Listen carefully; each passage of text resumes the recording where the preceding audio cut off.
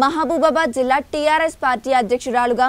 MP Kavitha నియమకం అవ్వడంతో మైబాద్ జిల్లాలోని అన్ని మండలాల్లో భారీ ఎత్తున అభిమానులు పార్టీ శ్రేణులు స్వీట్లు పంచుకుని సంబరాలు జరుపుకున్నారు